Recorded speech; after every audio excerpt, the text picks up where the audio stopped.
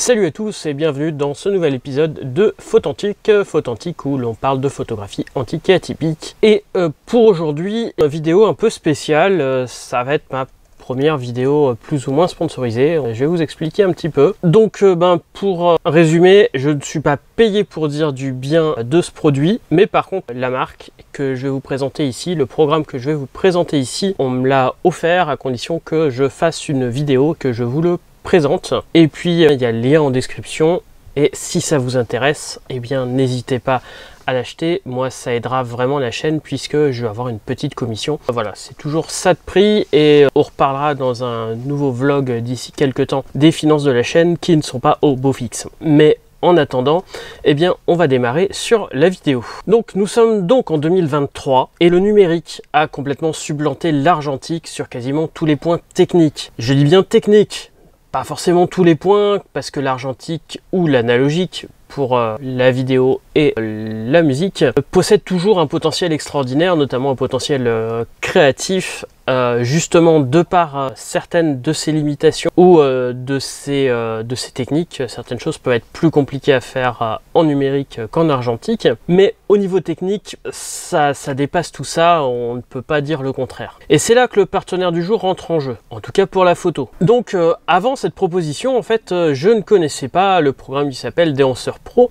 mais depuis pas mal de temps. Je pense que j'ai commencé à l'utiliser de façon assez intensive à, mon retour en France après le voyage au Canada. En 2012, j'utilisais beaucoup euh, deux programmes qui sont Nick Collection et aussi Alien Skin euh, Exposure euh, qui, dont j'ai fait, euh, je peux vous montrer deux ou trois photos comme ça, quelques tirages en utilisant ces programmes. D'ailleurs, tous mes tirages d'expo sont passés avec euh, sur la Nick Connection, qui n'était pas la Nick Collection de DxO à l'époque, mais qui appartenait à Nick Software à ce moment-là. Et donc, je, les ai pas mal utilisés. Et là, euh, ces derniers temps, je reconnais que j'ai un peu moins utilisé puisque j'utilise le maximum Lightroom.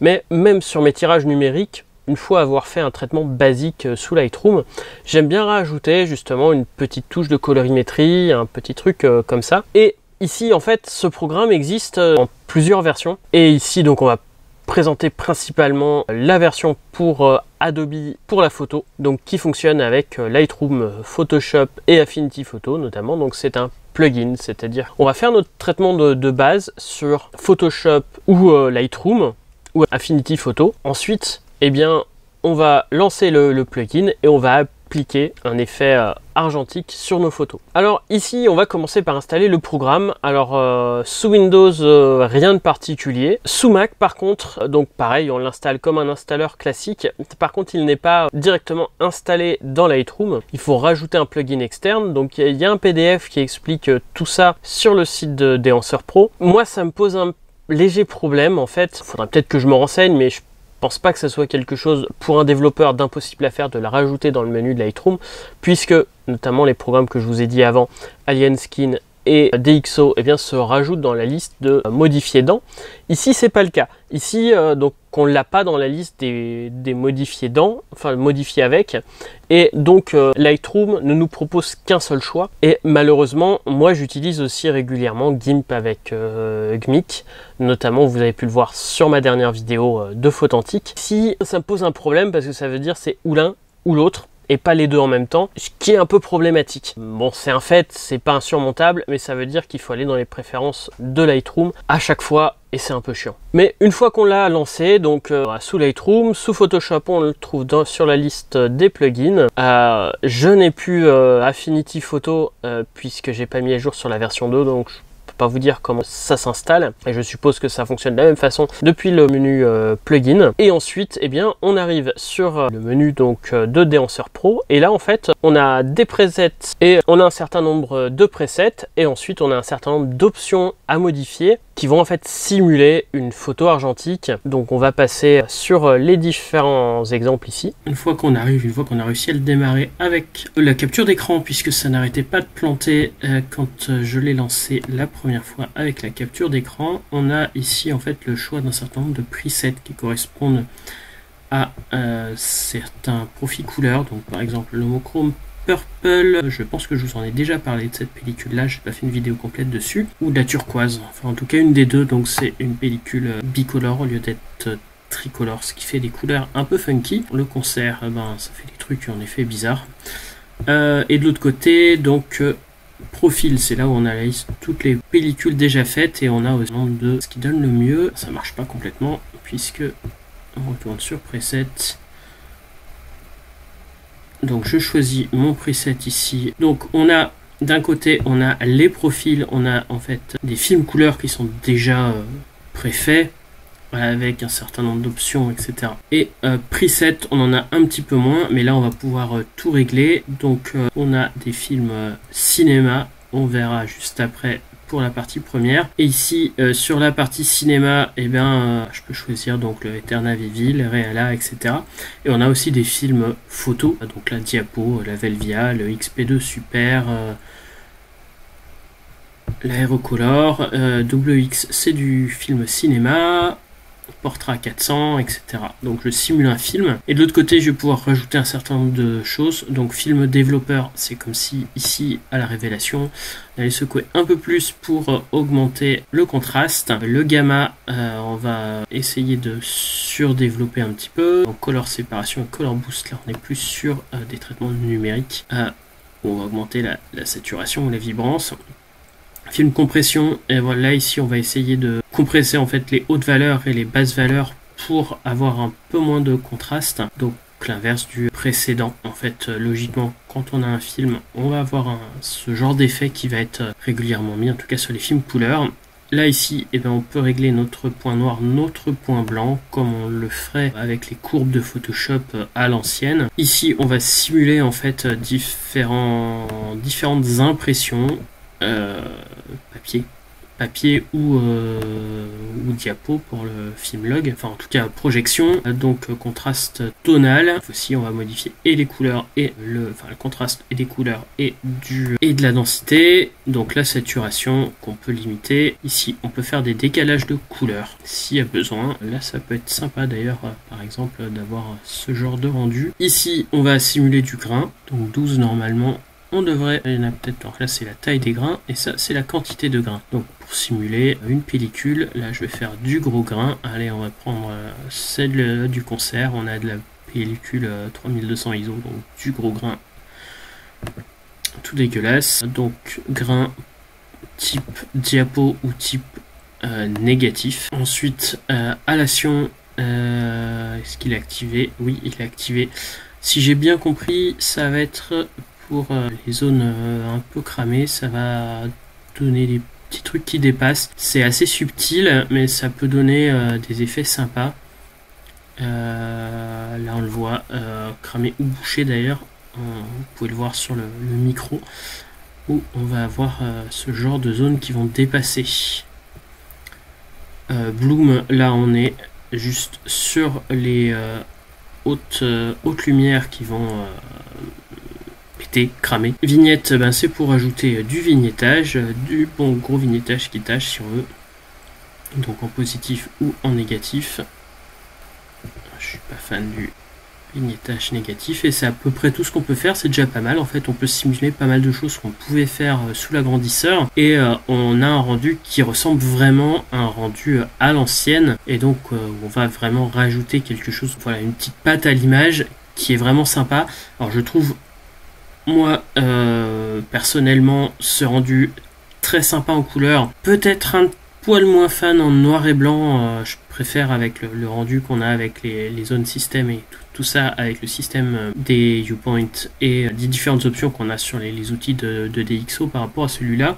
Pour la couleur, je dois dire que ici, je suis plutôt conquis sur euh, le résultat qui va vraiment simuler une pellicule argentique, en tout cas en couleur, et ça tombe bien puisque la couleur devient complètement inaccessible et on a vraiment un truc sympa. Donc je valide et ça va être directement appliqué sur Photoshop. Donc si vous voulez le faire de façon non destructive, je vous conseille de le faire sur un calque puisque là il va remplacer le calque courants. Alors la petite histoire de Déhanceur, c'est que qu'en fait il a, bah, c'est un photographe informaticien, ça, ça tombe bien, c'est un peu comme moi, qui a commencé par des scripts Photoshop. J'ai pas commencé par des scripts Photoshop dès que j'ai commencé à faire du RAW ou en tout cas traiter mes JPEG, le Bubble, Bubble Light que j'ai utilisé au tout début. Puis j'ai utilisé un petit peu GIMP et au début avant de repasser sur Lightroom et Photoshop que j'utilisais vraiment pour euh, faire des retouches photos. Au départ, le programme s'appelait Warsazer 1.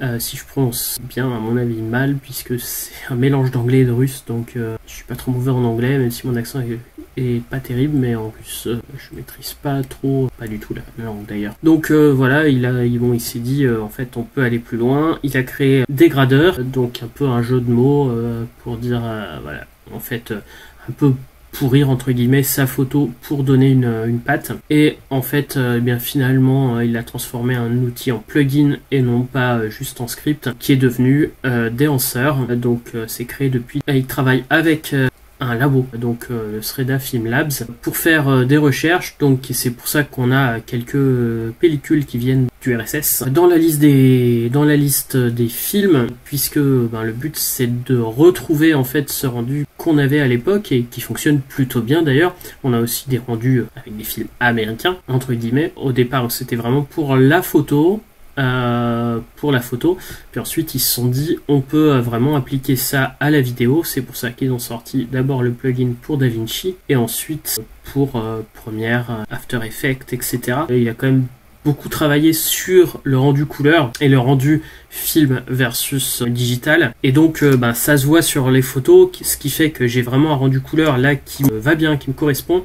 Et je trouve que c'est beaucoup moins le cas pour le noir et blanc. Donc, il a écrit euh, tout un livre, on le trouve sur le site de Déhanceur, qui est plutôt intéressant en tout cas euh, ce que j'ai lu donc c'est pour ça qu'il se base sur des rendus de couleurs de films etc et d'où le fait que finalement euh, j'aime beaucoup en fait ce que, euh, ce que ça rend en couleur, que ça soit en photo qu'en, que sur la vidéo. Euh, voilà, pour moi c'est un logiciel qui est plutôt pas mal, en tout cas pour des rendus un peu peinturés en couleur. Noir et blanc, on a bien sûr des bons résultats, mais ça va pas être mon logiciel de prédilection à ce que j'en vois pour le noir et blanc. Alors, euh, ce que j'en pense, donc ils m'ont dit que je pouvais dire ce que je voulais. Déjà, la qualité euh, de rendu, il faut un peu s'y mettre, ça fonctionne légèrement différemment que Silver FX pour le noir et blanc ou euh, Alien Skin avec exposure que je suis habitué d'utiliser, comme je vous ai dit, ça fait maintenant 11 ans que je les utilise très régulièrement, donc c'est normal qu'il me faut un petit peu d'habitude, mais après une semaine ou deux d'utilisation, eh bien très rapidement, j'arrive avec des rendus vraiment très sympas, qui me conviennent bien et qui sont parfaitement imprimable si notre image de base est bonne. Par contre, comparé aux deux précédents que j'utilise, hein, je suis désolé mais euh, je suis obligé de faire un peu de la comparaison puisque c'est des trucs que j'utilise quand même euh, régulièrement. Ici on n'a pas de modification non destructrice, on passe automatiquement donc depuis une image exportée en TIFF comme ce que peut le proposer DxO. Et on n'a pas non plus la prise en charge du RAW, on est obligé de passer sur euh, un pré-traitement sur Photoshop ou Lightroom. C'est pas grave, c'est déjà mon flux de travail. C'est un effet qu'on va mettre à la fin. Mais il y a des situations où j'ai pas forcément envie de me prendre la tête, je voudrais lancer le truc et là il n'est pas capable de gérer du RAW, qui gère du TIFF, qui sort de Photoshop ou Lightroom, c'est vraiment un plugin et c'est un peu dommage, mais bon, on fait avec. Et puis par contre l'autre point noir, puisque bah, je vous ai dit, le résultat est légèrement différent, mais dans mon cas, je trouve que, voilà, pour euh, le noir et blanc, j'ai plus ou moins l'équivalent de ce que j'ai avec Silver FX.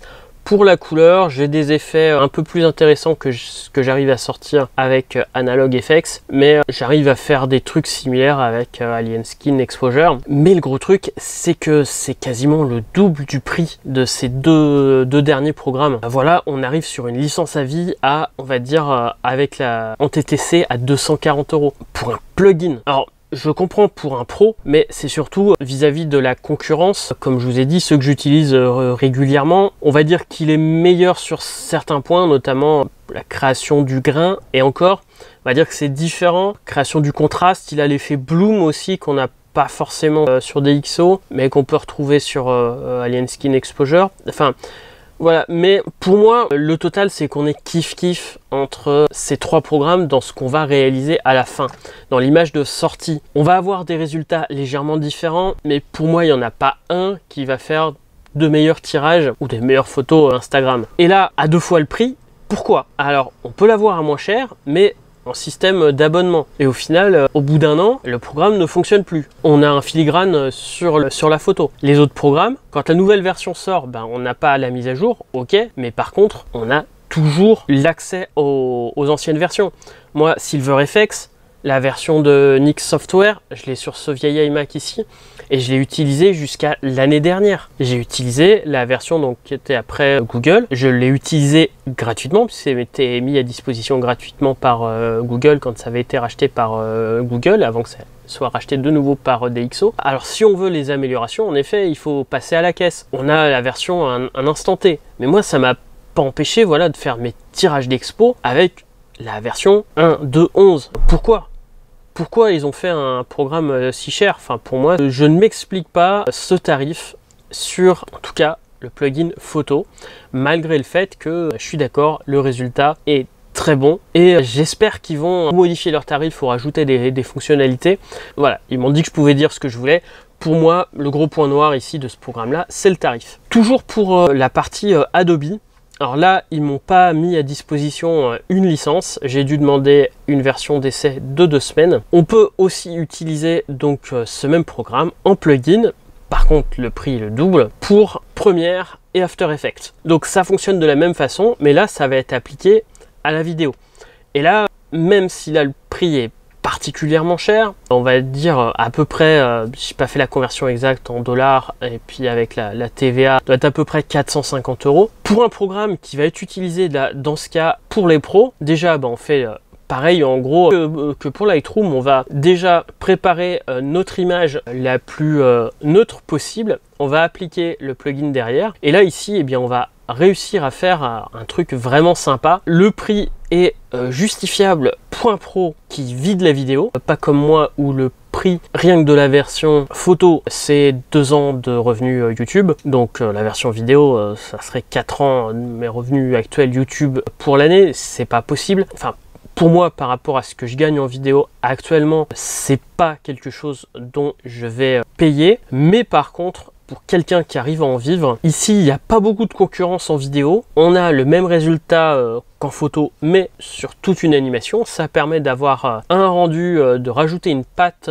sur la photo qu'on pourrait plus ou moins créer sur, directement sur Premiere After Effects, mais avec quand même un gros travail derrière. Et puis éventuellement certains plugins. Là, on a le, le plugin en fait qui nous simplifie vraiment le travail pour donner sa patte, pour donner un petit truc euh, de couleur. Et ben ça, je trouve que ici, le prix est plus justifié à condition d'être, encore une fois, pro pour un amateur, pour moi, ça ne se justifie pas. Voilà pour cette petite vidéo. On se donne rendez-vous très bientôt pour une nouvelle vidéo où, ben, cette fois-ci, je vais revenir un peu euh, sur euh, l'analogique et l'argentique. J'en ai plusieurs en cours de tournage.